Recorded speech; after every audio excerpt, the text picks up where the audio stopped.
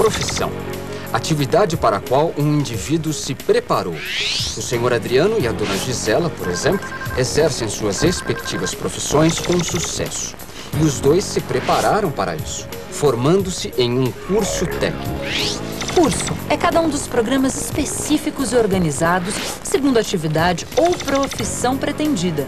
Sendo assim, os médicos fazem curso de medicina, os engenheiros de engenharia, os advogados de direito. Mas não foram esses cursos que o senhor Adriano e a dona Gisela frequentaram. Os dois se formaram em um curso técnico. Curso técnico é o curso que visa formar profissionais de nível médio. O senhor Adriano fez um curso de técnica em mecânica e a dona Gisela de técnica em montagem e manutenção de computadores e redes. Hoje, os dois exercem suas respectivas profissões e delas obtêm os recursos necessários para manter suas famílias.